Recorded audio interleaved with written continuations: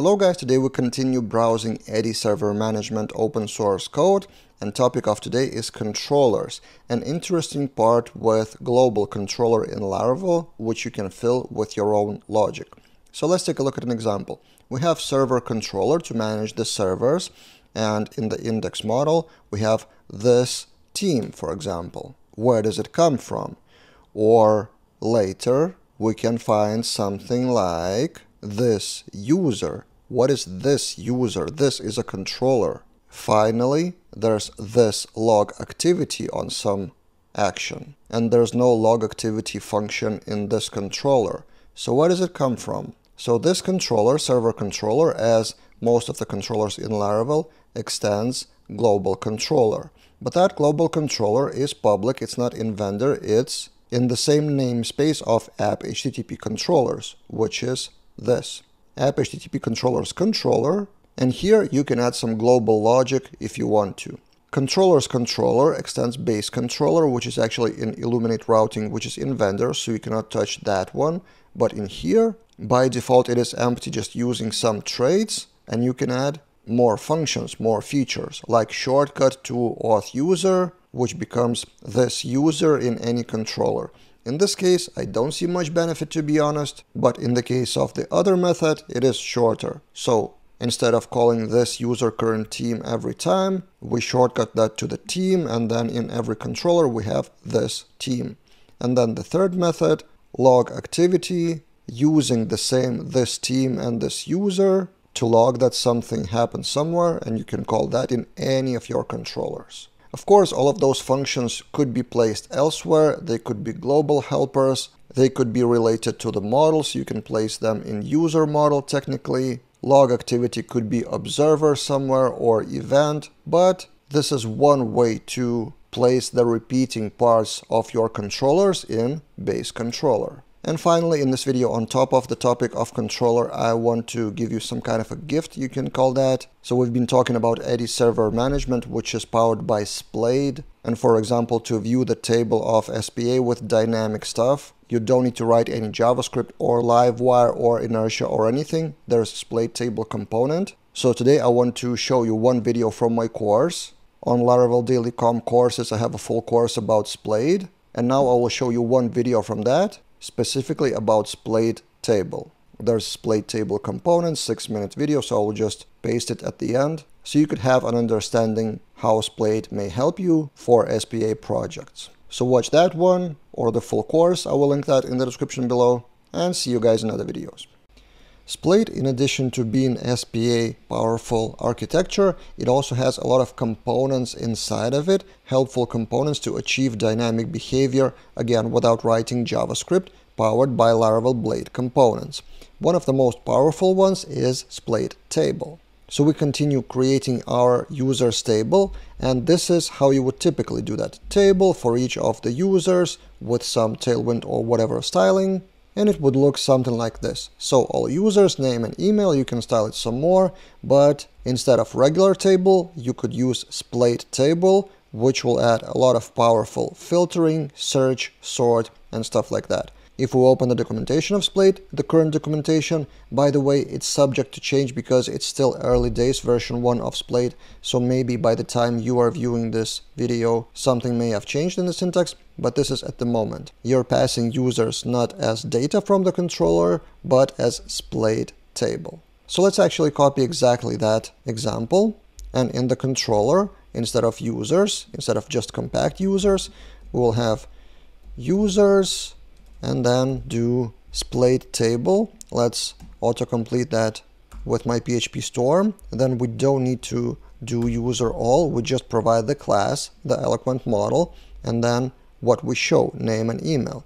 Paginate by 15. In our case, we don't have 15 users at the moment, but I will seed it a bit later. We don't need the request here.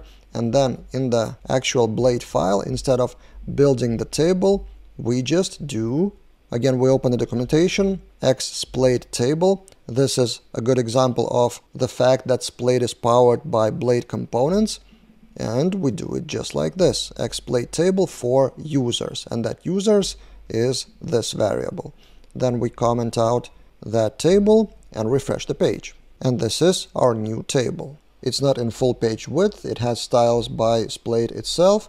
Let's make it full page by adding just class as any Tailwind class, minimum width full for example. We have npm run dev running in the background, so it auto refreshes the page with Vite server, and this is our table. Here we have 15 per page, which we can change. Here we have name and email that could be hidden or shown, and it's all powered by Splade. I didn't write any manual code for this, as you have seen. Behind the scenes, I've seeded 20 more users and we have pagination then. So 22 result.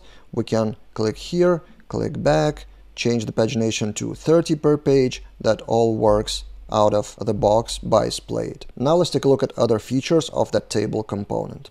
Majority of those features come down to just adding more method to Splade table. For example, you've seen already column, so you can add another column by doing column ID, for example, for the user, and it would show the third column, ID. So let's just quickly run through the documentation. At this point, again, the documentation, maybe there will be something more in the future. So what do we have here? Per page options, we can add, for example, per page options could be 15 and then 50, 120. If we refresh again, what do we have here? Those options activated. Then also you can hide pagination in case of just one page. Then also you can customize display table inner things themselves. So instead of just Splade table with this closing tag, you can have something like this. So head and body with different styling or different behavior.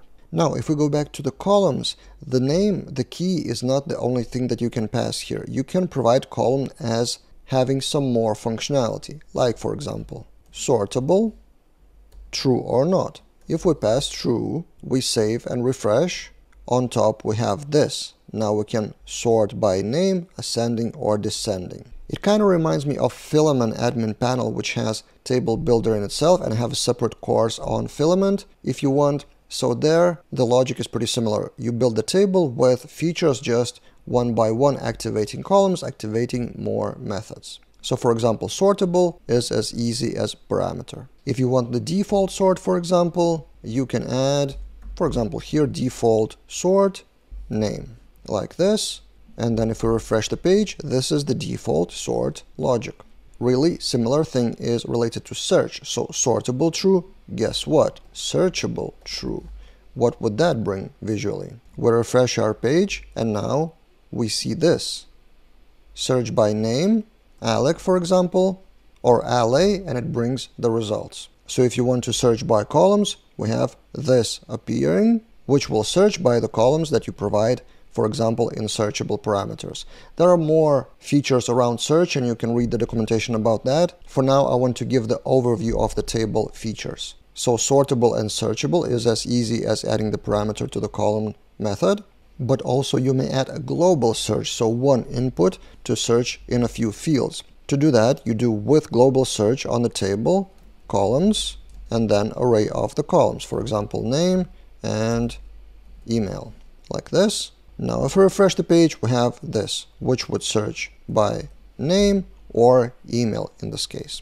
There are many more features in the table component of Splade, but I don't want to spend the full course just on that one component. There's much more to show to you in other Splade features, so I advise you to read all the documentation, including the bulk actions, exports, and how to use, for example, Spatie Query Builder instead of the default built-in one. In general, my opinion is that Splade Table is a great tool to power the data table's behavior. Again, without JavaScript and again powered by Blade component, which is the architecture of Splade.